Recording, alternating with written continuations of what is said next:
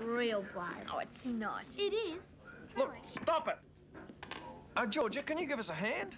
Sorry. Oh, come on, it's makeup. You're a girl. Papa, remember. Careful, Sooty, you're showing your age. Oh, yeah. Cut it out. You'll get Hey, into Therese, strife. you put that down. Oh, Dad. Look, you start helping Sooty, or next holidays we get someone else.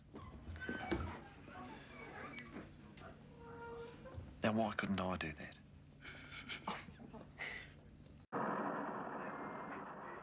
As you heard earlier, both drivers are still trapped in the wreckage of this possible time bomb. And we understand the tanker driver's young son is trapped in there as well. Police have begun a major evacuation of the surrounding area, leaving only a handful of fire and rescue workers at the accident site. If the tanker does go up, it would cause a huge BLEVE explosion at the liquid gas